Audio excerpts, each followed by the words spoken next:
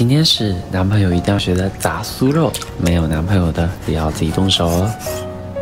姜末和料酒可是好东西，可以帮助去除腥味。最关键的炸衣配方已经打在屏幕上了，记得要做好笔记。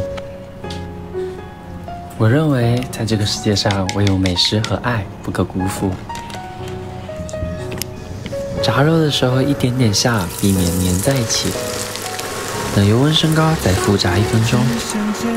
吃火锅时必点的炸酥肉就完成了，快做给你爱的人吃吧。